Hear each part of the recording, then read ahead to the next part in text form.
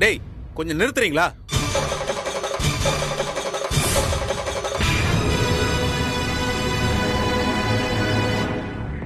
ஏதோ ஒவ்வொருத்தரும் நல்லபடியா பொழைச்சிப்பீங்கன்னு வீட்டை வித்து பிரிச்சு கொடுக்கலான்னு பார்த்தா இப்படி கேவலமா சண்டை போட்டுட்டு இருக்கீங்க? டேய் நாங்க உயிரோட இருக்கும்போதே இப்படி இருந்தீங்கன்னா இன்னும் எங்க காலத்துக்கு அப்புறம் நீங்க எப்படி இருப்பீங்கன்னு நினைச்சு பார்த்தா ரொம்ப வேதனையா இருக்குடா. சரிப்பா விடுங்க. இங்க பாரு ராஜா உனக்கும் வேணாம் எனக்கும் வேணாம். நம்ம யாருக்குமே வேணாம். நமக்குள்ள வாங்கினா தானே பிரச்சனை. பொது ஆள்கிட்டயே வித்துறலாம் என்ன சொல்றீங்க? அது வரைக்கும் என் கடையில டங் கிளீனர் வச்சுட்டு தான் உட்காந்துருக்கணும் பேசுறா பாரு பேச்சு. டேய் ரவி அப்பா பேசிக்கிட்டு இருக்கும்போது. கொஞ்சம் பொறுமையா இருந்ததா என்னடா? டேய் ராஜா கையில எவ்வளோட பணம் வச்சிருக்க? அப்பா இருபத்தஞ்சு லட்ச ரூபாய் வச்சிருக்கேன்ப்பா. இருபத்தஞ்சு லட்சமா? முப்பத்தஞ்சு லட்சம்லடா பேசியிருந்தோம். அதுல எனக்குள்ள பத்து லட்ச ரூபாய் இருக்குல்லப்பா. அதை கழிச்சிட்டு மீதி இருபத்தஞ்சு லட்ச ரூபாய் எடுத்துட்டு வந்திருக்கேன்ப்பா. சார் அப்படியே என் கமிஷன் ஒரு இருபதாயிரம். யோ அவன் தருவான். அவங்ககிட்டயே வாங்கிக்க. ம், ம், ம். சரி வாங்க. எல்லாரும் போய் முடிச்சுட்டு வந்துடலாம் என்னங்க? இத்தனை பேர் இருக்காங்கல்ல? நான் இங்கேயே இருக்கேன். ம் சரி.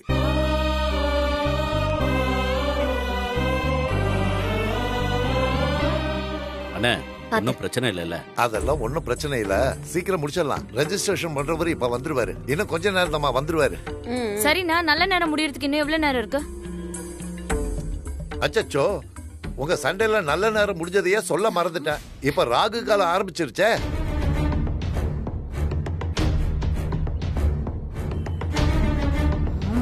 அண்ணே அதெல்லாம் ஒன்றும் பிரச்சனை இல்லைண்ணே. எல்லாம் நம்ம மனசு தானே காரணம். நீங்க ஆக வேண்டியதை பாருங்கண்ணே. டேய் உன் பேர்ல முதல் முறையா சொத்து வாங்க போற. ஒரு மணி நேரம் வெயிட் பண்ணா ஒன்னும் குடிமொழிவு போயிடாது வா. ஆமா மாப்ள அஹ், சம்மந்தி சொல்றதும் சரிதான். இருந்து பொறுமையா முடிச்சிட்டு போவோம். அது வரைக்கும் வெளியில உட்காந்துருக்கலாமா வாங்க. சரி வாங்க. வாங்க.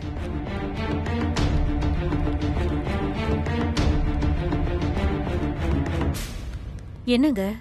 அதுக்குள்ள முடிஞ்சிடுச்சா? இதோ ராகு காலமா இருக்கான். அது முடிஞ்சதுக்கு அப்புறம் பண்ணிக்கலாம்னு சொல்லிட்டேன். அண்ணா சார் பிரச்சனை கூட கொஞ்சம் வாங்க.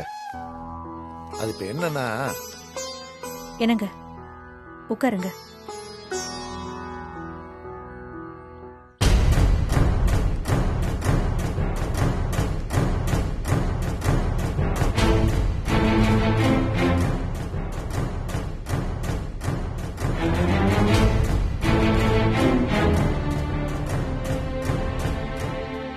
என்ன சீதா? உள்ள வராம இங்கேயே உட்காந்துட்ட நம்ம பையன் வீடு வாங்குறத பார்க்க பிடிக்கலையா? எல்லாம் தெரிஞ்சும் தெரியாத மாதிரி கேக்குறீங்களே. அவன் ஒருவேளை எதிர்பார்த்திருப்பா இல்லையா அவன் வாங்கின இடத்துல வீடு கட்டி கிரகப்பிரவேசம் பண்ணிருந்தானா மொத ஆளா நான் தான் அங்க நின்னுருப்பேன். ஏன்? இதுவும் அவன் வாங்குற வீடு தானே? பையன் வீடு வாங்குறானேன்னு சந்தோஷப்பட சொல்றீங்களா? இல்ல கட்டின வீடு கைய விட்டு போகுதேன்னு கவலைப்பட சொல்றீங்களா? உலகத்துல வேற எந்த அப்பா அம்மாவுக்கும் இந்த ஒரு நிலைமை வந்திருக்காதுங்க. அதுக்காக அவங்கள நாம அப்படியே விட்டுற முடியுமா? இந்த வீட்டை நீங்க ஒரு குழந்தை மாதிரி பாத்துக்கிட்டீங்க அதெல்லாம் எனக்கு ஞாபகம் வந்துகிட்டே இருக்குங்க. நாம அங்கதானே இருக்க போறோம். இருந்தாலும் அது நம்ம வீடு இல்லல்ல?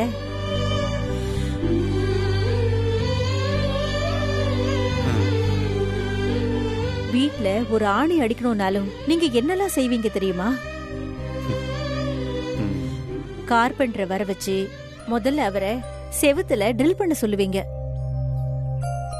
அதுவும் ட்ரில் பண்ணும்போது அதுல இருந்து வர சத்தம் காதுல கேட்க கூடாதுன்னு பக்கத்து ரூமுக்கு போய் கதவை அடைச்சுப்பீங்க.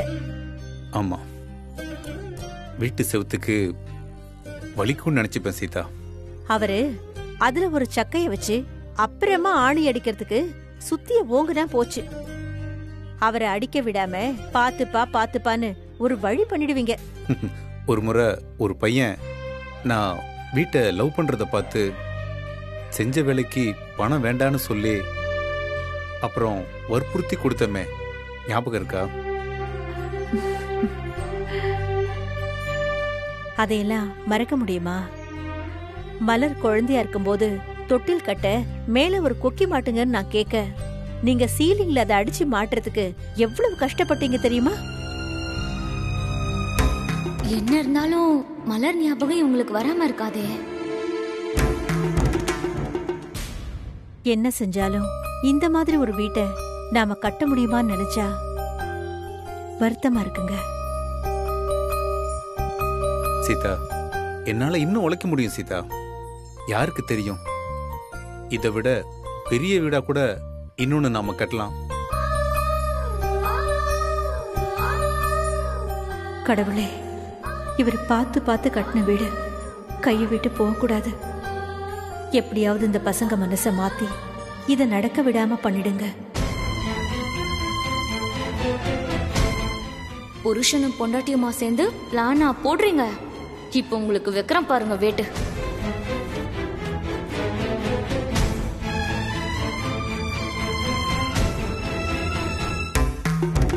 ஃபோன் போட்டு அவளை வர வச்சிட வேண்டியதுதான்.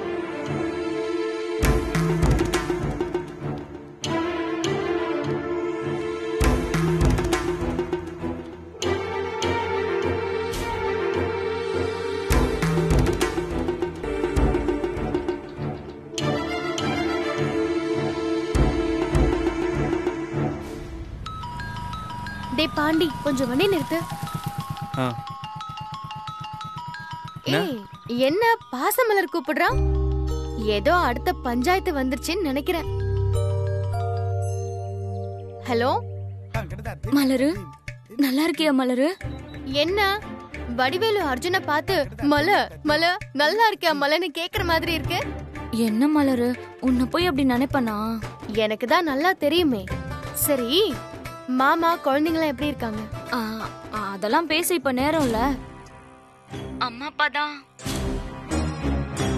அம்மா அப்பாக்கு என்னாச்சு? இன்னும் என்ன ஆகணும்? ஏ என்னாச்சு? உங்க அண்ணனுங்க ரெண்டு பேரும் சேர்ந்து நம்ம வீட்டை விற்க போறானுங்க மலரு.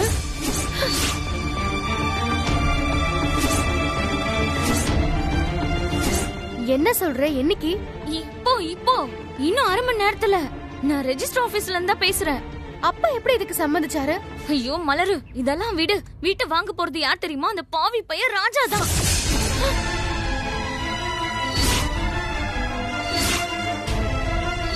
இங்க பாரு புரியுற மாதிரி சொல்லு. அது எப்படி அப்பா ராஜாக்கு போய் வீட்டை வைப்பாரு? ஐயோ இவனுங்க ரெண்டு பேரும் முன்னாடியே கூட்டு சேர்ந்து பெரிய டிராமா போட்டு அப்பாவை ஏமாத்தி சம்மதிக்க வச்சுட்டாங்க. அப்பா தான் ஏதோ கொஞ்சம் போனா போதுன்னு அதுல உனக்கு தரேன்னு சொல்லி வாங்கிட்டு போக சொன்னாரு.